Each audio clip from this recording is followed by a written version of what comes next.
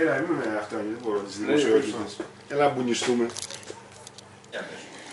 Απουσία σήμερα, Λοιπόν, κύριε Γεράσιμε. Πήγα να προλάβω του προβατήρες να μπουν μέσα στα Άτσε, αντιπάτια. προβατήρες.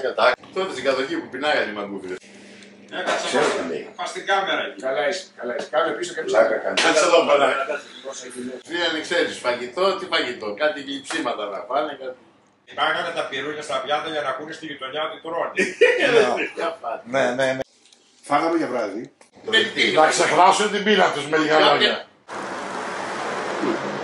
Ανεμβολίασους. Ο συγχωρεμένος ο Μπάρμπας Ναι, έτσι το εκεί. πει. Κάποια στιγμή είχε πέσει το μεσημέρι για ύπνο ο Μπαρμπατάκη, ο αδερφός του μικρός. Μικρός όσο.